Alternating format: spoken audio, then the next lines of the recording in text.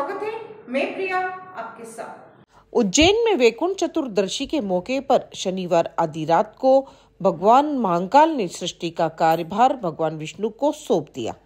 परंपरा के अनुसार रात करीब साढ़े ग्यारह बजे महाकालेश्वर मंदिर पर पूजन के बाद बाबा की सवारी गोपाल मंदिर के लिए निकली। सवारी मार्ग पर जगह जगह भूत भवन भगवान महाकाल का जमकर स्वागत किया गया। आतिशबाजी भी की गई। सवारी रात 12 बजे गोपाल मंदिर पहुँची। यहाँ बाबा महाकाल और भगवान विष्णु का पूजन किया गया।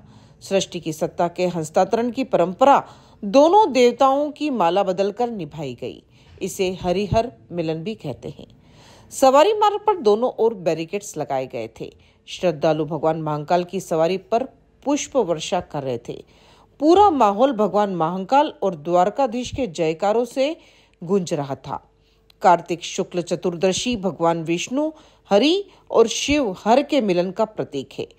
भगवान महाकाल और द्वारकाधीश का अद्भुत मिलन देखने के लिए देश भर से आए हज़ारों श्रद्धालु गोपाल मंदिर के बाहर रात दस बजे से ही मौजूद थे। गोपाल मंदिर पहुँचने पर सवारी अंदर लाई गई।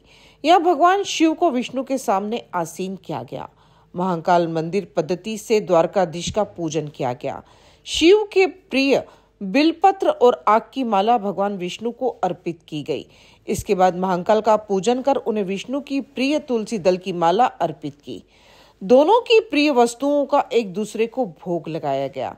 मान्यता है कि इसके बाद भगवान शिव चार महीने के लिए हिमालय पर्वत पर तपस्या करने चले जाएँगे। यह परंपरा वैष्णव और शैव संप्रदाय के समन्वय व सौहार्द का प्रतीक है। पौराणिक मान्यता के अनुसार देवशनि एकादशी से देव उठनी एकादशी तक जगत के पालन करता माने जाने वाले भगवान विष्णु पाताल लोक में राजा बलि के यहाँ विश्राम करने जाते हैं। इसलिए चार महीने तक संपूर्ण सृष्टि का कार्यभार भगवान शिव के पास होता है।